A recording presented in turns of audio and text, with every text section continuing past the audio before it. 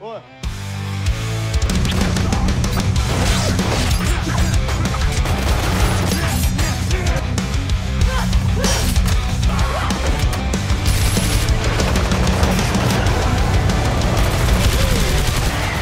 Bayangan adalah petunjuk menemukan terang. Gadis muda ini sudah tersesat sejak kecil, menemukan jalan bayangan gelap yang tak seharusnya dia terima. Dibesarkan dan dilatih menjadi asasin di organisasi paling misterius.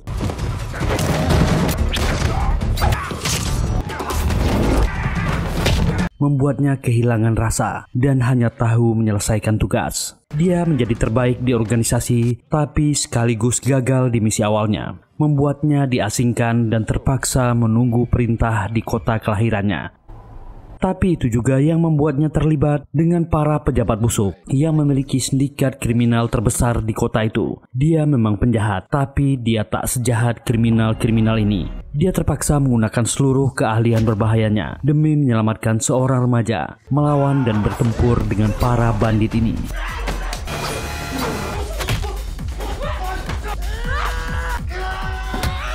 Peringatan penuh adrenalin akan ada infografis untuk tokoh-tokoh di film ini. Tanpa lama-lama, yuk kita gaskan!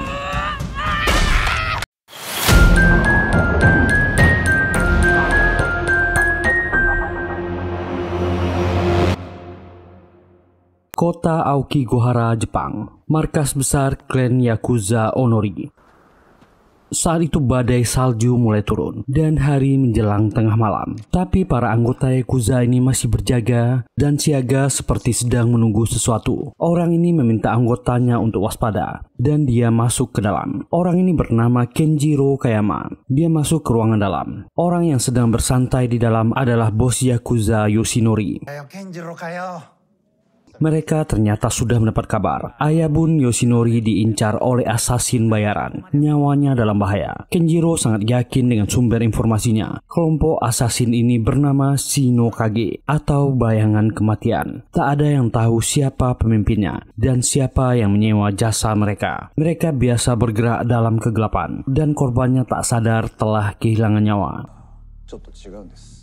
Yoshiro memarahi Kenjiro jangan menakut-nakutinya dan pintu dibuka. Anggota termuda mereka mengantar seorang wanita geisha yang akan bermain samisen untuk menghibur bos Yoshinori yang bosan.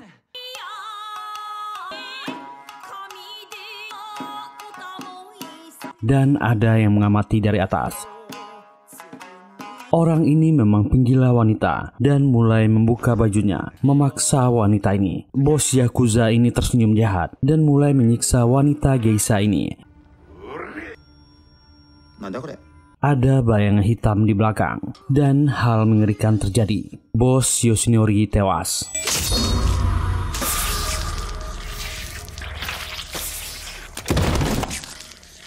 Orang bertopeng hitam ini meminta Geisha ini diam. Para Yakuza ini datang mengetuk dan membuka paksa pintu. Bosnya sudah tak bernyawa lagi. Kenjiro sangat kesal, memeriksa tubuh bosnya. Bertanya ke Geisha ini siapa pelakunya. Wanita ini menunjuk ke arah empat patung yang memakai baju perang kuno. Mereka menembaknya. Dan tak ada apa-apa di situ. Asap mesiu memenuhi ruangan.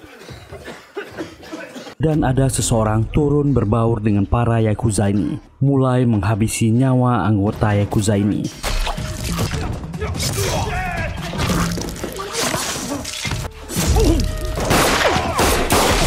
Dia sangat cepat. Setiap pedangnya bergerak, nyawa hilang.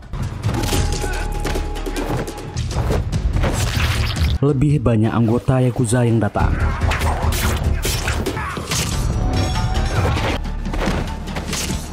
Mereka bernasib sama.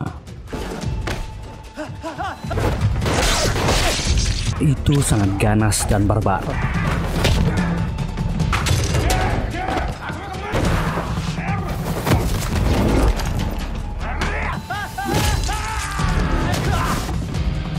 Kenjiro mengambil ketananya dan menyerang.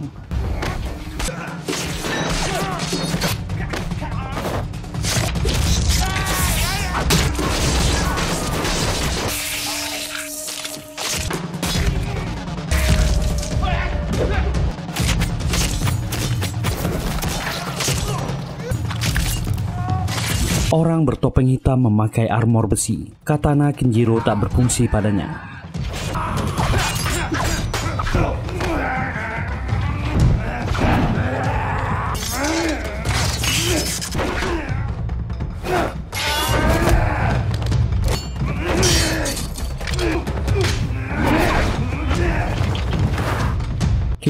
Juga menembak.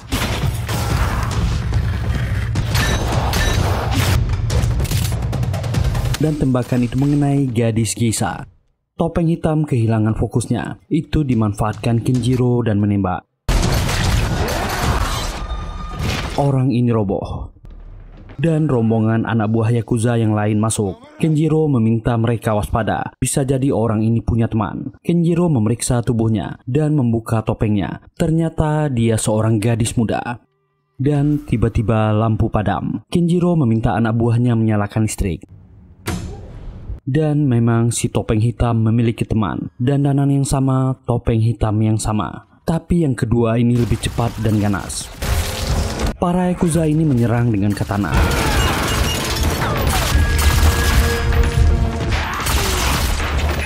Juga menembak, hasilnya tetap sama.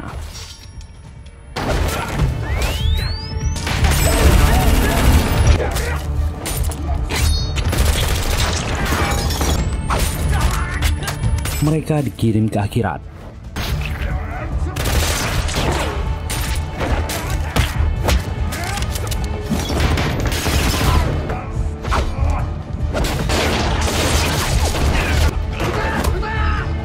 Ledakan terjadi.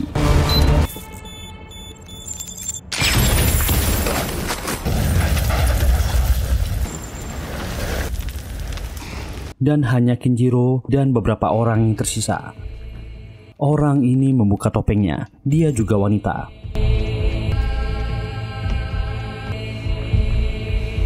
Topeng hitam membuka kuda-kudanya.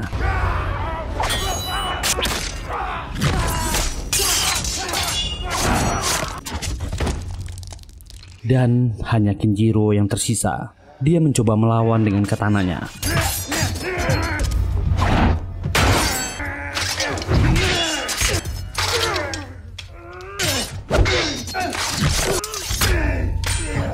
Kenjiro terlempar keluar. Merangkak dan berusaha bangkit. Topeng hitam kedua sudah di belakangnya. Wanita ini membuka topengnya. Kenjiro mengatakan sudah cukup. Dia sudah menghabisi Yoshinori bosnya. Wanita ini pun menjawab, mereka dibayar untuk menghabisi klan Onori. Yoshinori hanya pemimpin klan. Jika dia meninggal, Kenjiro akan menjadi pemimpin klan selanjutnya. Pria ini meminta ampun, tapi wanita ini mengatakan tak bisa. Kenjiro nekat mencoba melawan, nasib yang sama dengan bosnya. Hari ini klan Yakuza Onori hanya tinggal nama.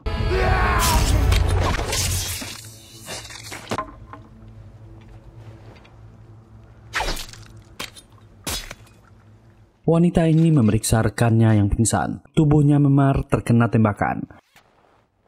Dia menyuntikkan sesuatu pada gadis ini. Tiba-tiba gadis ini sadar dan sok. Gadis ini dipanggil 13, memintanya fokus dan mengatur nafasnya. Misi mereka sudah selesai. Bawa gearnya. dan dalam perjalanan menuju bandara. Wanita bertopeng hitam ini bernama Umbra dan dia adalah mentor gadis berkode 13 ini. Mereka adalah bagian dari kelompok yang bernama Shinokage atau bayangan kematian. Kelompok asasin internasional paling rahasia dan ditakuti. 13 bertanya, apa misi berikutnya? Umbra yang senang fokus menatapnya marah. 13 telah gagal dan terdistraksi ketika melaksanakan tugasnya. 13 terlalu lemah mentalnya. Ini tak ada apa-apanya dengan pelatihannya dulu. Dia dilatih oleh master yang bernama Burai dan itu membuatnya menjadi kuat. Mereka pun sampai di bandara. Seorang pria turun. Pak tua ini bernama Handler. Dia adalah manajer operasional wilayah Asia untuk para asasin ini. Umbra mengatakan 13 perlu dikirim kembali ke fasilitas. Dia mengalami masalah mental. Handler mengatakan itu terserah dia, tapi mereka punya masalah di Kamboja yang harus diurus cepatnya. Handler menghubungi petugas lainnya. Ada satu kadet yang akan dikirim ke Jakarta, Indonesia. Dan 13 dikirim ke Jakarta menggunakan pesawat militer. Umbra masih sempat mengantar dan melihat gadis ini. Inilah Dese Dostre, Jakarta, Indonesia. Di sebuah rumah susun kumuh, 13 bangun dari tidurnya. Dia segera meminum obat yang diberikan instruktur Umbra dan melakukan workout ringan. Lalu menyiram dirinya. Tubuh gadis ini penuh luka. Saat itu masih pagi sekali. 13 meninggalkan rumah susun dan memacu motornya menyusuri kota Jakarta. Dia berhenti di sebuah parkiran gedung tua yang tak terpakai. Di dalam gedung ini ada telepon koin yang mungkin sudah jarang di zaman sekarang. 13 memasukkan koin dan menekan kode khusus. Ini adalah cara berkomunikasi dengan organisasinya. 13 menyebutkan kodenya. Suara di seberang hanya meminta dia meminum obat yang diberikan dan tunggu instruksi selanjutnya. Telepon ditutup. Dengan kesal 13 pun pergi dari sana. Saat akan kembali ke apartemennya, dia melihat seorang remaja pria yang memapah ibunya yang sedang mabuk. Remaja ini tak segan-segan membereskan ibunya. Dan remaja ini kembali memampah ibunya. Ibu dan anak ini tinggal di depan apartemennya. Saat itu tengah malam, 13 tiba-tiba terbangun dan mendengar suara ribut di luar. Orang-orang berwajah seram di depan pintu rumah ibu dan anak tadi. Mereka memukul wanita ini dan anaknya berontak, tapi mereka tak bisa melawan. Saat dia keluar kamar, orang-orang di komplek itu sudah ribut. Wanita yang bernama Asri sudah meninggal. Wanita ini yang dia lihat malam tadi. Mayatnya sudah dibawa petugas. Seorang kapten polisi berusaha menenangkan anak yang bernama Monji ini, memintanya menjaga diri. Tapi insting 13 mengatakan petugas kepolisian ini bukan orang baik-baik. Kapten bernama Prasetyo ini melihat ada gadis yang menatapnya tajam dan tiba-tiba dia menghilang. Siang itu 13 akan makan bakso yang berjualan di dekat apartemennya. Entah kenapa selera makannya hilang. Tiba-tiba ada yang menyapanya. Jika dia nggak mau baksonya, bolehkah dia minta? Ini adalah remaja yang bernama Monji. Dia segera makan dengan lahap. 13 kasihan dengan remaja yang baru kehilangan ibunya ini, menyuruhnya untuk sabar. Dia melihat pagi tadi ibunya meninggal. 13 juga melihat orang-orang yang masuk ke rumahnya malam tadi. Monji merasa kakak ini terlalu cerewet. Apakah dia ikhlas memberi makanan ini? Monji menyampaikan unek-unek dan isi hatinya. Tapi 13 tahu remaja ini ingin membalas kematian ibunya. Pisau di pinggangnya sudah di tangan 13. Barulah Monji jujur. Ibunya dibilang Ode, tapi dia tahu orang-orang itu yang menghabisi nyawa ibunya. Mereka pelakunya. Orang yang bernama Haga itu yang menghabisi ibunya. 13 punya cara untuk menghibur remaja ini. Dia membawanya ke tempat ibunya dimakamkan. Dia pun mencari makam ibu Monji dan mengajarkan bocah ini bicara dan curhat ke ibunya. Remaja ini berbaring di tanah makam dan mulai bicara dengan ibunya, mencurahkan isi hatinya.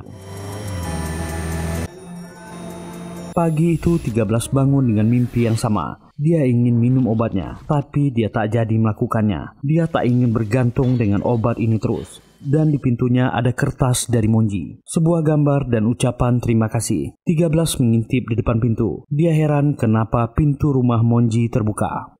Dan 13 pun masuk, memanggil remaja ini. Tapi rumah itu kosong. 13 memeriksa, tapi Monji tak ada. Saat itulah tiba-tiba ada seseorang yang masuk dan bicara di telepon. Pria ini bernama Jackie. Dia sedang bicara dengan Haga bosnya yang memintanya untuk mencari barang bukti narkoboy yang mungkin disimpan wanita itu. Dan Jackie mulai mencari. Akhirnya di kamar mandi, saat dia memeriksa toilet, dia menemukan barang bukti narkoboy dan segepok gulungan uang kertas. Jackie sangat senang. Dia pun mencoba memakai narkoba yang ditemukannya. Saat itulah 13 keluar dari tempat persembunyiannya dan bertanya ke Jackie, di mana Monji? Jackie heran, siapa wanita ini? Dia mengeluarkan pisaunya. Tentu saja dengan gampang Jackie dihajar 13.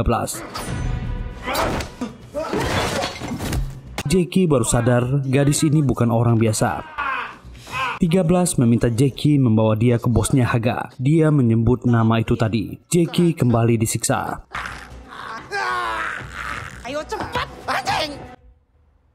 Dan 13 sudah berada di mobil Jackie. Dia sempat meminta gadis ini mengurungkan niatnya. Haga bukan orang biasa. Dia bisa meninggal di sana. Dia didukung oleh sahabatnya yang seorang pejabat. Dan Jackie menceritakan Haga adalah seorang pengedar kelas kakap dan sahabatnya Prasetyo seorang kapten dan petugas korup memiliki banyak pasukan. Lalu yang lebih berbahaya lagi Ariel, seorang pejabat. Mereka bertiga bersahabat dari kecil dan jadi penjahat sampai dewasa. Mereka akan ke Moonrose, sebuah klub malam milik Ariel.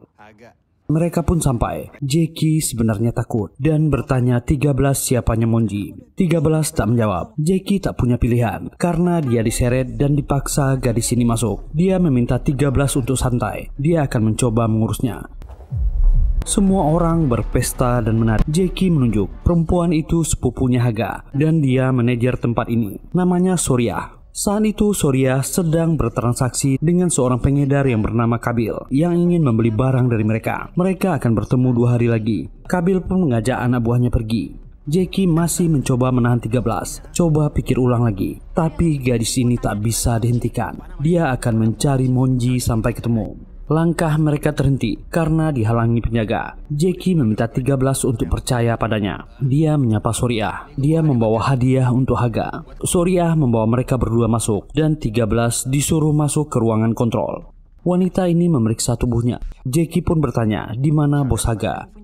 Ini soal Monji. Surya meminta gadis ini untuk diam, jangan ke mana-mana, dan membawa Jackie. Pintu ruangan itu dikunci. Itu adalah ruangan kontrol CCTV. 13 segera memeriksa komputer di sana, membuka satu-satu isi videonya, dan dia melihat beberapa jam yang lalu Monji memang datang ke sini, dan dia ditangkap oleh Haga. Jackie dibawa ke ruangan Haga. Orang ini sedang mencekoki seorang gadis dengan obat-obatan terlarang. Jackie mengatakan dia sudah mengambil narkoboy yang ada di tempat asri. Dia memeriksa badan Jackie dan menemukan uang yang disembunyikannya. Dia memarahi Jackie. Surya menengahi. Jackie membawa wanita untuknya. Jackie mengatakan gadis itu dia temukan di rumah Monji dan Haga jadi tertarik. Surya meminta agar gadis tadi dibawa ke sini dan 13 melihat Monji dibawa oleh petugas kepolisian yang dia lihat kemarin, membuat gadis ini marah. Pengawal membuka pintu dan langsung dihajar 13. 13 berjalan dan sampai di ruangan Haga. Dia menghajar Surya. Haga heran kenapa gadis ini tiba-tiba memukul.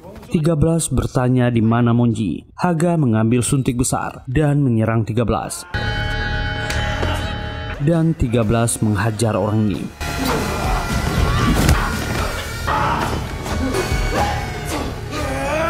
Keduanya bertarung dan saling menyudutkan.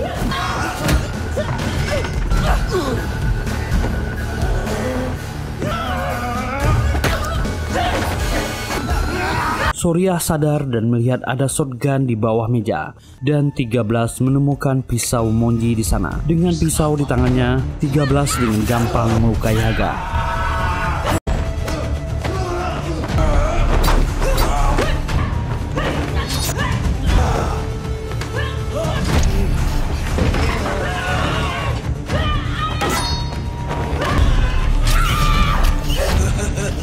Surya ingin menembak 13, tapi yang tertembak malah Haga sepupunya. Perempuan mabuk ini marah dan panik.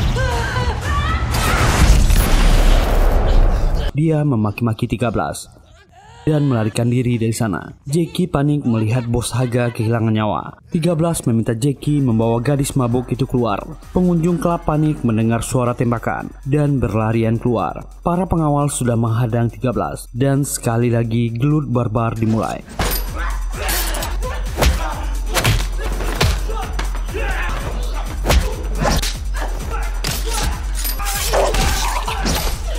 Gadis ini tak ada ampun.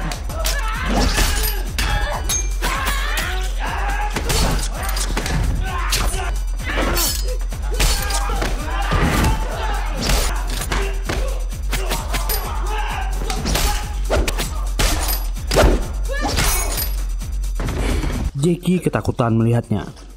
Semua adegan itu direkam CCTV. Jackie memandu gadis ini untuk keluar dari sini. Dan kembali 13 diserang.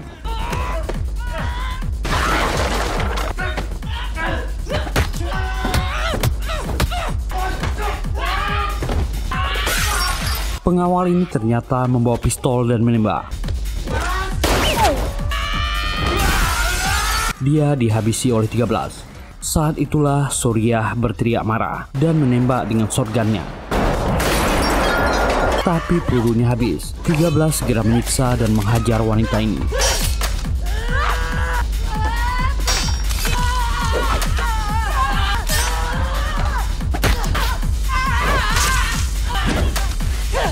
Tapi Suriah cukup ahli bertarung.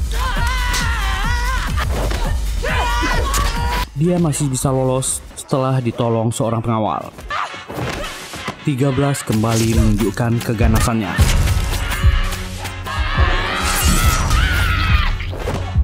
Suriah yang sudah mengisi peluru kembali menembak.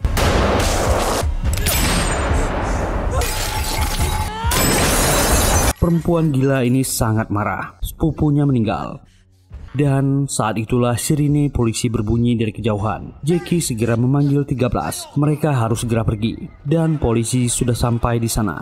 Mereka meninggalkan gadis ini di luar di tempat aman dan segera kabur dari sana.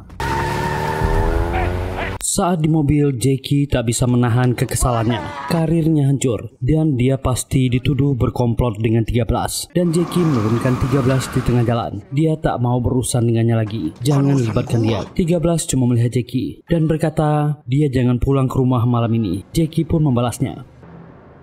Prasetyo dan bawahannya sedang menginterogasi seorang tahanan. Kenapa kamu bawa truk? Dan tiba-tiba dia mendapat telepon. Halo, Rio? Itu dari Ariel. Haga sudah meninggal. Prasetyo menangis melihat mayat temannya. Dia dan timnya sudah di klub Moonrose melihat keadaan di sana. Ini adalah kerjaan profesional dan dia mendapat laporan rekaman CCTV melihat orang yang melakukannya. Prasetyo merasa pernah melihat gadis ini dan di sebuah rumah mewah. Inilah orang yang bernama Ariel. Dia menenangkan Prasetyo yang sok teman mereka Haga meninggal. Dan inilah ayahnya, Pak Sumitro, seorang anggota dewan dan pejabat berpengaruh di ibu kota. Dan rencananya tahun ini dia ingin mencalonkan diri menjadi gubernur Jakarta. Meminta Ariel menyelesaikan semua transaksi dan mereka akan istirahat sampai pilkada selesai. Ariel pun pusing dan dia ke ruangan bawah tanah rumahnya. Orang ini agak psikopat. Dia membuka sebuah ruangan dan di sanalah Monji ditahan. Sementara itu di hutan Kamboja, Umbra sedang menyelesaikan masalah di sini dan menghabisi beberapa orang. Dia menyalakan suar, tapi ada orang yang datang menodongkan senjata. Tiba-tiba, seseorang datang dari belakang dan menghabisi orang yang menodong ini. Orang ini juga anggota Shinokage bernama Troika. Dia menyapa Umbra. Handler bicara di radio. Troika ada di sana untuk memastikan dia aman. Jangan protes dan bekerja sama dengan Troika. Mereka memeriksa mayat itu. Ternyata orang ini juga anggota Sedo. Tugas Umbra adalah memburu anggota Sedo yang melakukan pemberontakan terhadap organisasi. Troika diminta untuk membuka jalan. Troika pun berjalan di depan di kegelapan malam, diikuti oleh Umbra, dan ada senjata yang menyerang mereka. Seseorang muncul. Dia juga anggota Sedo. Troika meminta Umbra untuk duluan. Dia akan membereskan orang ini dan ada rumah di tengah hutan. Umbra menyalakan suar, mendekati rumah itu. Dia memeriksanya. Rumah itu kosong, hanya ada tumpukan jerami. Instingnya sebagai asasin bekerja. Umbra menyerang dengan katananya, dan seseorang muncul menyerangnya. Dia seorang wanita. Bunyi katana beradu di kegelapan malam.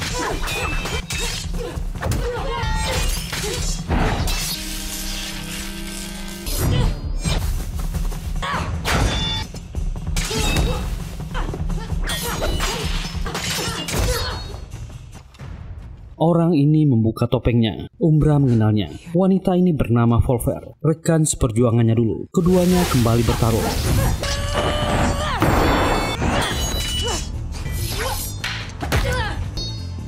Volver terluka dan menjatuhkan pedangnya. Dia kalah dan akan dihabisi oleh Umbra. Umbra tak menyangka targetnya adalah Volver dan bertanya kenapa dia berkhianat. Volver memintanya mengenang masa lalu. Mereka berlatih bersama dan bersahabat akrab. Umbra memintanya diam. Volver mengungkapkan dia sudah muak berada di Shinokage. Mereka tak punya kehidupan, hanya memburu nyawa manusia. Meminta Umbra sadar, mereka manusia juga. Mereka bisa lebih dari ini. Volver menangis. Bergabunglah dengan mereka keluar dari Shadow. Umbra berkata dia telah menghabisi teman-temannya. Dan saat diperiksa, Volver ternyata sedang hamil. Itu sangat terlarang. Di Shadow tak boleh menikah dan mempunyai anak. Umbra tak percaya ini. Volver memohon, biarkan dia dan anaknya pergi. Umbra yang sok membiarkan wanita ini pergi. Saat pintu dibuka, Troika sudah di luar, menyerang wanita ini dan menghabisinya. Umbra cuma bisa diam. 13 sudah berada di kamarnya. Dia sangat gelisah dan akhirnya memutuskan pergi. Memacu sepeda motornya di tengah malam. Dia ternyata menekan kode khusus di box telepon, mengaktifkan protokol darurat. Box telepon itu bergeser ke atas, ada pistol magnum, perdam, dan amunisinya di sana. Ternyata dia sempat mengambil dompet Jackie dan melihat alamat di KTP-nya. Inilah rumah Jackie. Pria muda ini ternyata sedang merawat neneknya yang sedang sakit. Prasetyo dan pasukannya sudah di depan rumahnya, memakai topeng plastik. Dia memastikan semua pasukannya sudah mencopot semua atribut. Jangan sampai ada barang bukti yang tertinggal. Mereka akan masuk. Listrik dipadamkan. Jackie mulai cemas dan tahu Prasetyo dan orangnya akan masuk. Mengunci pintu kamar dan memeluk neneknya. Pintu kamar tak bisa menahan mereka. Jackie minta ampun. Prasetyo menodongkan pistolnya dan mulai menembak. Di mana wanita itu Jack? Kalau dia nggak ngaku, dia dan neneknya akan mereka kirim ke akhirat. Jackie minta ampun. Dia cuma tahu gadis itu tetangga Monji. Tiba-tiba Prasetyo mendapat laporan ada gangguan di luar. Dia meminta anak buahnya mengecek dan nyawa orang ini melayang. Semua yang berjaga di halaman dihabisi.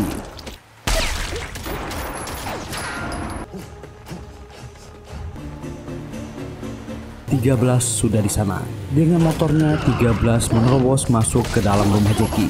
Semua anak buah Prasetyo di dalam meregang nyawa. Gadis ini komplit dengan tangan kosong juga dengan senjata api.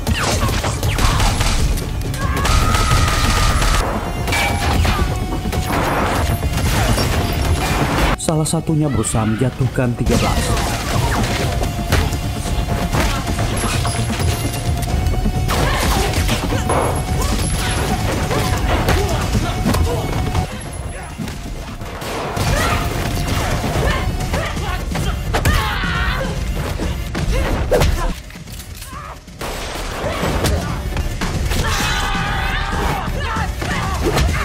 Mereka bertarung di dapur.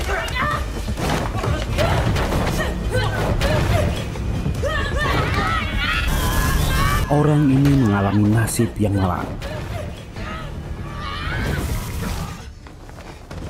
Prasetyo meminta tangan kanannya yang paling diandalkannya keluar. Dengan golok besar, orang ini menyerang.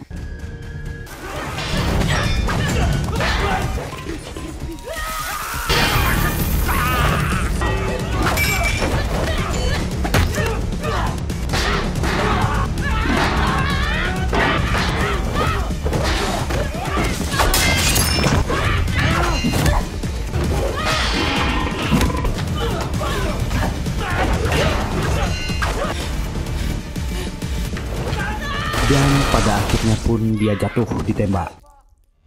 Sekarang hanya tinggal Prasetyo. Orang ini mengancam Jackie. Dia harus menolongnya.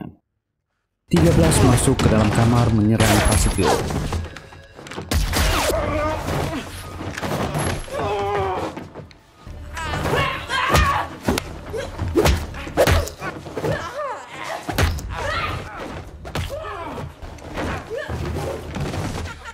Pistol sudah di kepalanya. 13 bertanya di mana Monji. Orang ini mentertawakan gadis ini. Ternyata semua ini cuma gara-gara bocah kecil. Jackie mencegah 13 yang ingin menghabisi Prasetyo dan membuat orang ini berhasil lolos. 13 mengejar dengan sepeda motornya.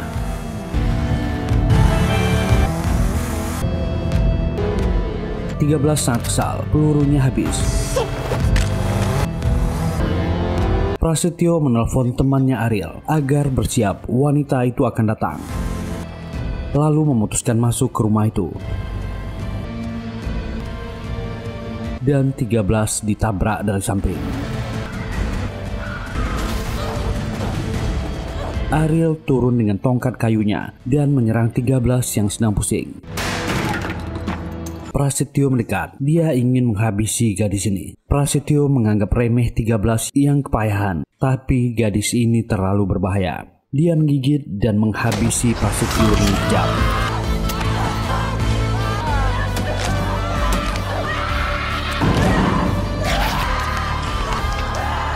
Anak buah Ariel segera memegangi 13. 13 dibuat pingsan. Rombongan Umbra keluar dari kedalaman hutan Kamboja. Handler menyerahkan dokumen, ada kekacauan di Jakarta. Ada politisi busuk yang berjualan narkoboy dan terlibat perdagangan manusia. Mereka bukan urusan kita. Tapi anak didiknya mengacau di Jakarta. Dia mengamuk dan menghancurkan bisnis orang-orang ini. Malah dia mengaktifkan protokol darurat. Banyak korban berjatuhan. Karena kekacauan ini, organisasi marah, meminta mereka menyelesaikan dan menangkap 13. Mereka akan ke Jakarta segera. 13 pun sadar, dia sudah terikat di dinding. Ariel mengejeknya. Tak pernah ada yang lolos jika sudah masuk ke ruangan ini. Dia menghajarnya dan memasang topengnya. Orang ini semakin menggila. Meminta tongkat kayunya ke Suriah dan bersiap memukul.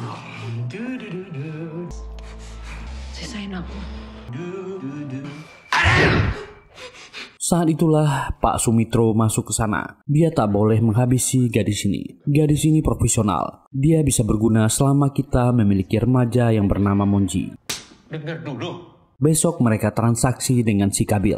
Orang itu akan membeli banyak dari mereka. Kalau seluruh anak buahnya di klub dan Prasetyo serta pasukannya bisa dia habisi, apalagi Kabil dan anak buahnya. Ambil uang dan narkoboinya kembali. Mereka akan untung tanpa perlu kehilangan barang. Dan papa butuh uang untuk kampanye. Sumitro berbisik. Setelah transaksi, dia boleh menghabisi gadis ini dan bocah itu. Sumitro bicara dengan 13. Dia tahu 13 bukan orang sembarangan. Kesepakatannya 13 menolong mereka dengan jasanya dan mereka akan mengembalikan Monji padanya. Jackie pun mengantar Monji dibawa masuk ke dalam sel itu. Bocah ini sudah babak belur dan terluka parah. Monji meminta maaf telah melibatkan 13. 13 berjanji padanya mereka akan keluar dari tempat ini besok. Lewat tengah malam, mereka semua sudah di mobil. 13 berada di mobil Ariel dan Monji serta Jackie di mobil Pak Sumitro. Mereka sampai di sebuah gudang, tempat transaksi. Kabil dan orang-orangnya sudah menunggu. Ariel memberi 13 instruksi. Begitu transaksi selesai, mereka semua akan masuk mobil. Dan 13 akan pura-pura diumpankan ke Kabil. Dia tinggal di luar, habisi Kabil dan semua anak buahnya. Setelah semuanya dihabisi, mereka akan mengembalikan Monji. Jika dia dalam bahaya, bapaknya akan menghabisi Monji. Mereka bertiga turun dari mobil. Kabil dan anak buahnya membawa uang. Kabil mengejek Ariel. Untuk transaksi saja Ariel masih diantar bapaknya. Calon gubernur jagain anaknya. Ariel meminta uangnya dan Kabil meminta barangnya. Ariel menunjukkan barangnya, murni 99%. Dia meminta 13 mengantar barangnya dan wanita ini bonusnya. Kedua barang diletakkan di tengah. Anak buah Kabil mengecek dan memeriksa kemurniannya. Sementara kondisi Monji semakin parah, Jackie meminta anak ini dibawa ke rumah sakit. Tapi Sumitro tak peduli. Jackie ditodong pistol. 13 diminta mengecek uangnya. Uangnya oke, dia lalu membawa uang ke Ariel. 13 meminta sekarang lepaskan Monji. Orang ini menjawab, Monji akan kami lepaskan setelah dia menghabisi Kabil. 13 pun diberi pistol dan disuruh maju. Ariel berteriak ini bonusnya. Jackie melihat Monji tak bergerak lagi dan memanggilnya. Monji telah meninggal. Bocah ini tak bergerak. Jackie panik dan berteriak. Sumitro meminta anak buahnya mendiamkan Jackie. Tapi Jackie melawan, menggigit anak buahnya dan memukul kepala Pak Tua ini. Pengawal ini menembak pistol, tapi meleset. 13 pun maju dan Kabil melihat gadis muda ini. 13 meminta maaf, dia sebenarnya tak mau melakukan ini dan menodongkan pistol ke Kabil. Semua orang melihat ke mobil yang klaksonnya berbunyi terus dan Jackie berteriak. 13 kehilangan fokusnya. Dia tak menyangka Monji meninggal. 13 berteriak panik dan marah. Jackie memajukan mobil dan menabrak ke dinding. Kabil pun marah berteriak agar anak buahnya menghabisi orang-orang Ariel dan baku tembak itu dimulai.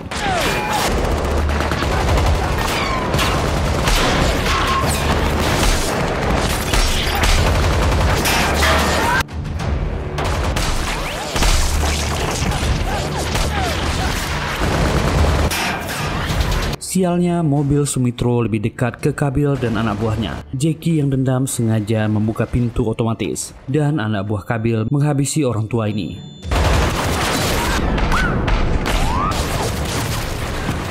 Ariel berteriak melihat papanya dihabisi. Dia mengambil senjata canggihnya di bagasi dan mulai menembak.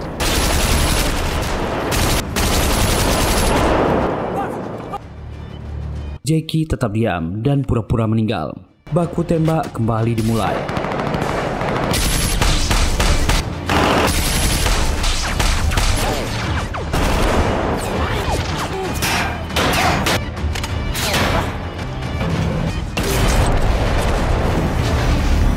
Ariel dan anak buahnya berhasil menghabisi semua anak buah Kabil. Tapi korban di kedua belah pihak tak sedikit.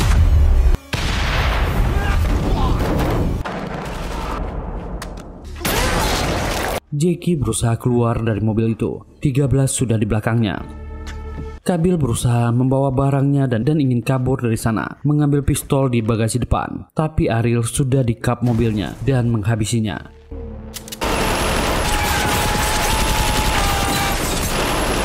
Kabil dan seluruh anak buahnya meninggal. Ariel berteriak marah, menyuruh anak buahnya mencari Jackie dan gadis itu. Jackie berusaha membawa mayat Monji. Soriah menemukannya dan 13 datang menabrak wanita ini. Dengan mobil 13 menabrak semua anak buah Ariel.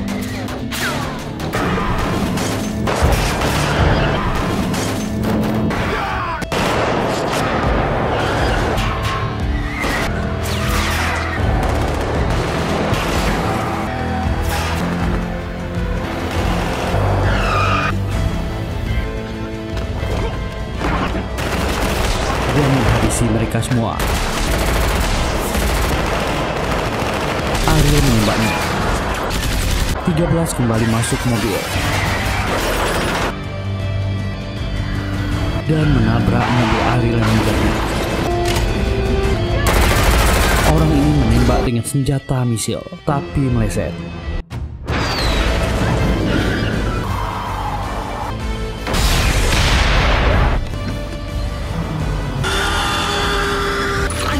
Mobil mereka pun bertabrakan. Orang ini masih hidup, turun dari mobil dengan pemukul kayunya dan menyerang 13.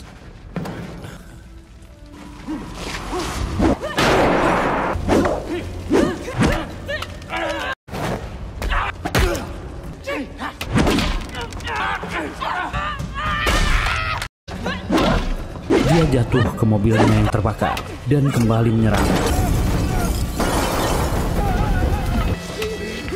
Orang ini sudah kepayahan.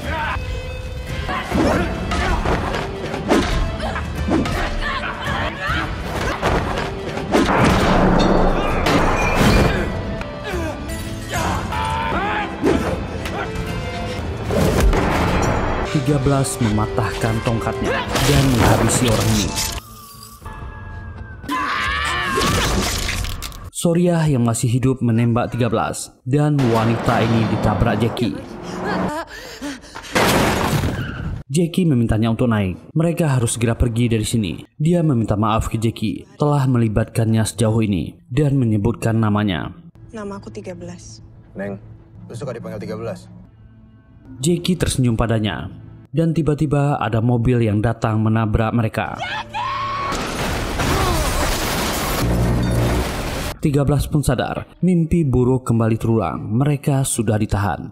Yang tak disangka itu Handler dan ada pria asing di sana. Handler menghajar 13 dan Umbra datang membawa daftar korban dan kekacauan yang dibuat 13. Polisi semakin mendekat. Handler sangat marah. Dia harusnya diam dan menunggu instruksi. Sekarang mereka harus membereskan kekacauan ini. Handler berkata ke Umbra, bereskan ini mereka harus segera meninggalkan Jakarta. Umbra walaupun sedih dia tak punya pilihan. Dia harus menghabisi anak didiknya sendiri. Saat itulah Jackie yang tak rela menghalangi Umbra. Handler menembak Jackie. 13 sangat sedih kehilangannya dan melarikan diri. Troika diperintahkan mengejarnya. 13 melarikan diri ke sebuah gudang di sebelah dan Troika mengejarnya. 13 berusaha memutuskan ikatan di tangannya. Dan orang besar ini menemukan 13.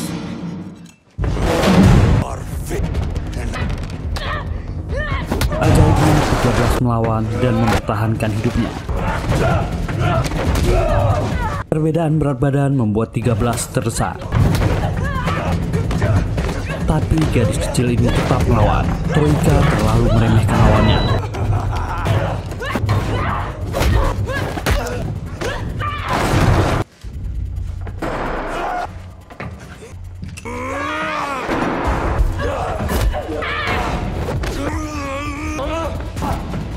Dan berkata dia akan mengantarkan 13 ke neraka sekarang dan 13 berteriak.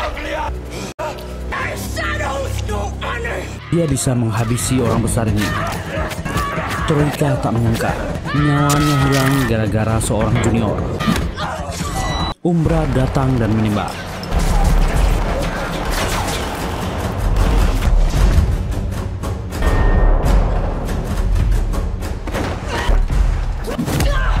Melemparkan granat di tangannya. Umbra menyangka 13 telah tewas.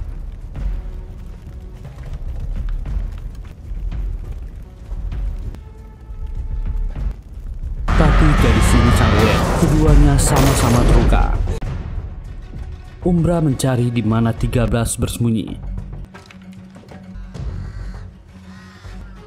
Dia menemukannya dan bertanya kenapa dia melakukan kekacauan ini. 13 tak mengerti, tapi dia harus melakukannya. Guru dan murid ini bertarung.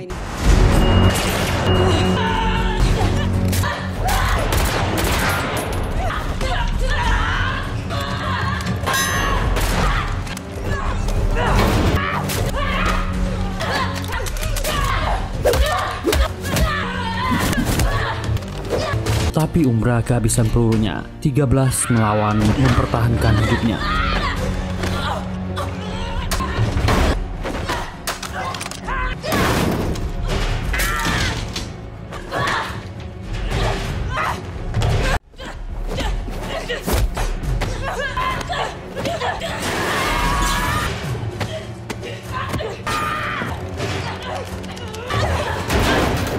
Umbra menyerang dengan ketananya.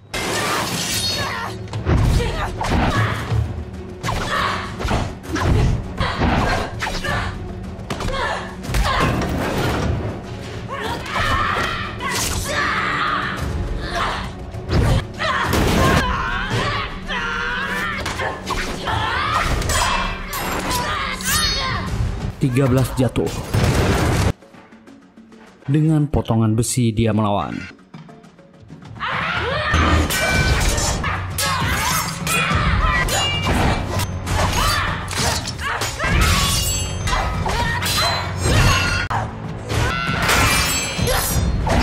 Yang luar biasanya dia bisa menyudutkan Umbra.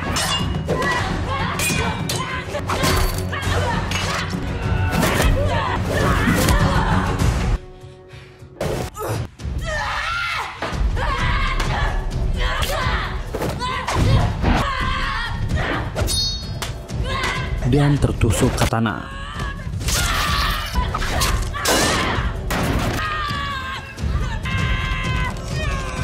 Tapi gadis ini sangat ulet untuk hidupnya.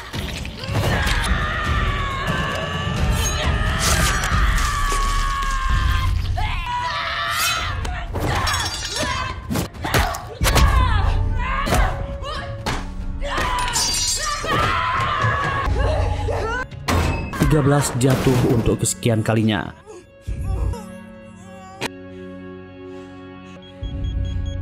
tapi dia bisa mencabut pin granat otomatis di tubuh Umbra. Umbra masih bisa membuangnya, tapi itu meledak terlalu dekat dengannya.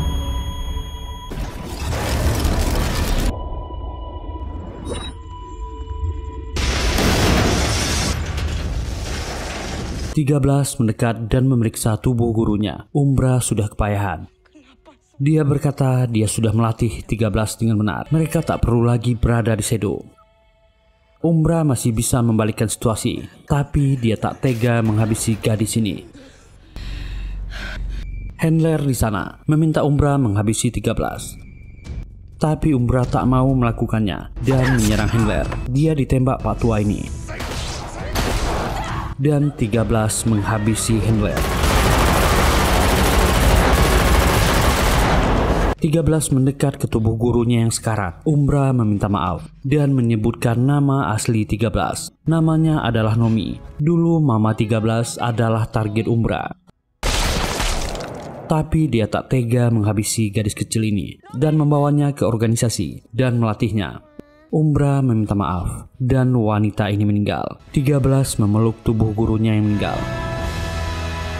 Dan 13 membakar gudang itu dan mayat gurunya. Dia membawa tubuh Munji dan menguburkannya di samping makam ibunya, berharap anak ini tenang. Ternyata ada agen Sedo yang lain memburunya. Tiga orang datang ke sana. Gadis muda ini tertawa dan menyapa 13.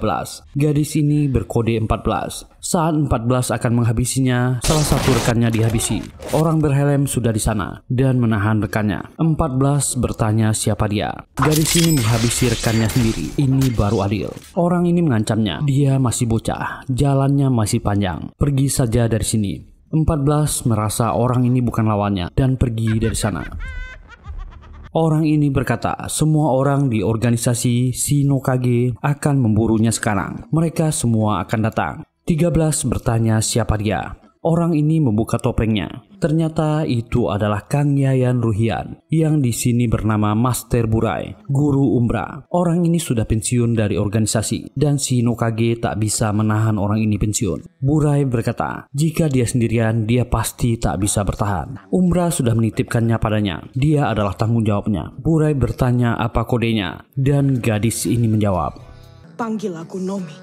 Akhirnya film yang epik dan membuat adrenalin naik turun ini pun selesai. Semoga terhibur. Terima kasih sudah meluangkan waktunya di channel ini. Kalau nggak keberatan, mohon dukungan teman-teman untuk kami. Silahkan tekan tombol like, subscribe, dan nyalakan loncengnya untuk mendukung kami. Semoga kita semua diberi kesehatan dan dimudahkan rezekinya. Kita jumpa lagi di video berikutnya. Bye.